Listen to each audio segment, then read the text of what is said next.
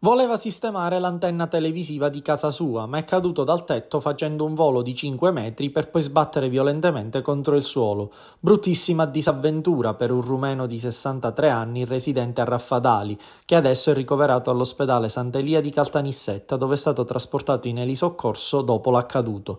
A causa dell'impatto con il suolo, il 63enne ha subito un serio trauma cranico ed è stato sottoposto ad alcuni accertamenti appena arrivato in ospedale. Al momento il rumeno non è impedito pericolo di vita. Sulla vicenda stanno facendo luce i carabinieri della stazione di Raffadali, arrivati prontamente nell'abitazione dello sfortunato sessantenne per eseguire i primi rilievi, in modo da accertare con precisione la dinamica dell'incidente.